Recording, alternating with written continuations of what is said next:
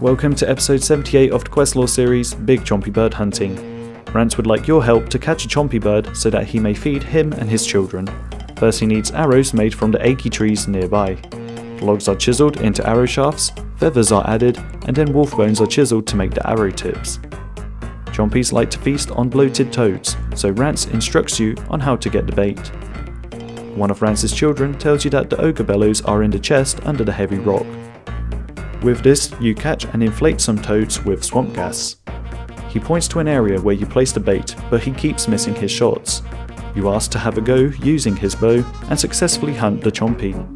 Now Rantz wants you to cook the bird with the ingredients that he and his children want added. With these items in the inventory, they're cooked on the spit roast and they enjoy a delicious meal. Completing this quest is a requirement for Mourning's End Part 1, Zogre Flesh Eaters, and Recipe for Disaster. Join me next time where I'll explain the lore behind Horror from the Deep.